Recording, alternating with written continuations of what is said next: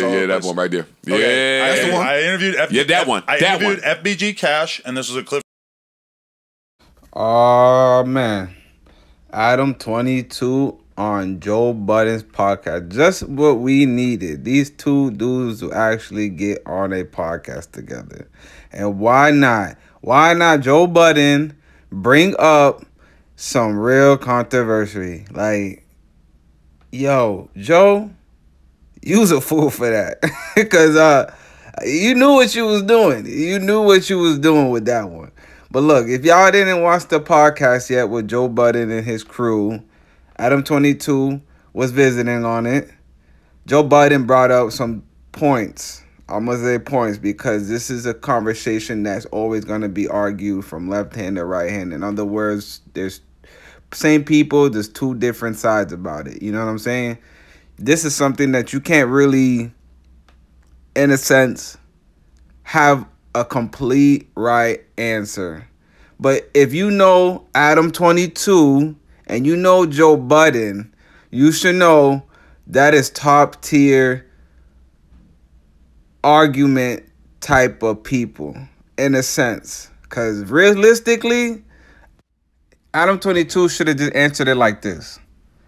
If that's the case, they might not come to my podcast because they were saying people are going to his podcast because basically he got clout. He got one of the biggest podcast interviews, you know, platforms out him, Black TV, Complex News. People are gonna die to go on there, he should know that. You know, they're gonna. If that's the case, as Adam Twenty Two, I would have said, regardless of them going on my podcast or not, that's gonna get out regardless. Cause you see these fools on the music videos, you see these fools on the internet, they're gonna do it regardless. They're gonna interrogate. They're they're gonna they're going to put themselves in predicaments regardless because this is what the rap music is nowadays.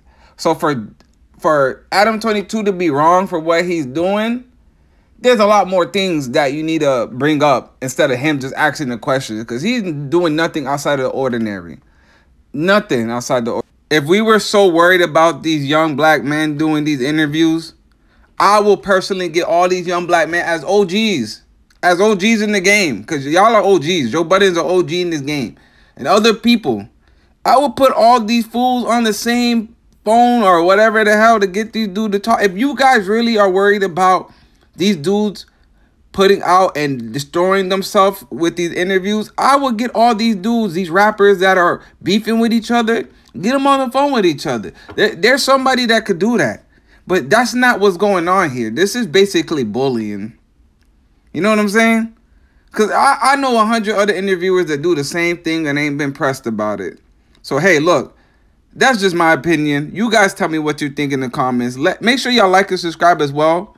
And, you know, you guys let me know how you feel about this. Because, honestly, in my perspective, I felt like Joe Budden was on his, his Budden shit. You know what I'm saying?